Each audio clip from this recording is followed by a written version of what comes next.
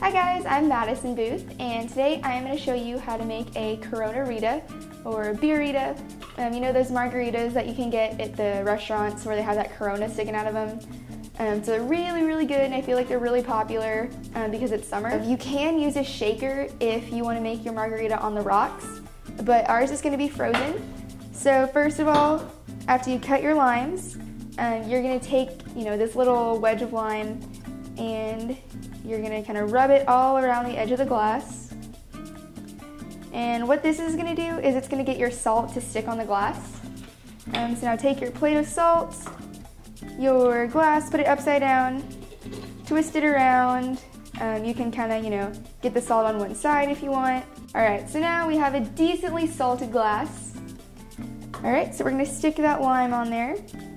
Now we're gonna actually make the margarita. So get your blender here. Now a single drink has about 1.25 ounces of alcohol in it. Um, you can use a jigger, which is this little funny looking thing. Um, it measures the amount of alcohol that you pour into a drink. And um, you can use this, or if you know how to free pour and count um, the ounces as you go, you can do that. So we're gonna put 1.25 ounces of this Sauza.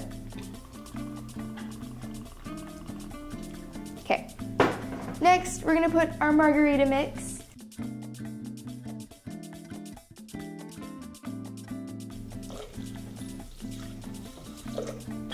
All right.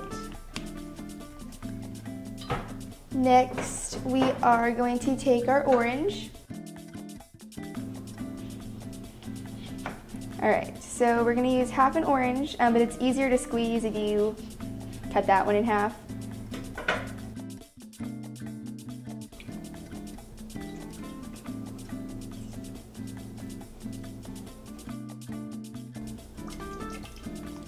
Squeeze all that in there. Okay, we are going to put some ice in here. So um, just wait and see how it comes out and then you can add more if you need to. All right, something that is kind of a secret ingredient is um, just actually water. We're gonna pour a little bit of water in there. I'm um, just gonna help it blend easier. All right, stick your top back on. Now we are actually going to blend it. Go ahead and take that off. Pour it into your margarita glass.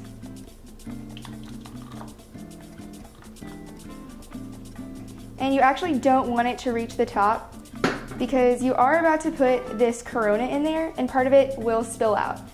Um, so as you can see, this is not all the way full. Um, but now you need to open up your Coronarita.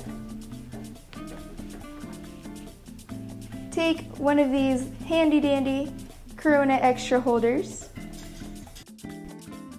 So on the count of three, we're gonna put this Corona in here for the finished product. One, two, three. Ta-da!